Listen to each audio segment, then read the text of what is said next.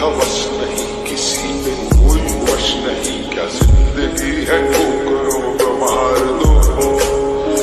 मौत अंत है नहीं तो मौत से भी क्यों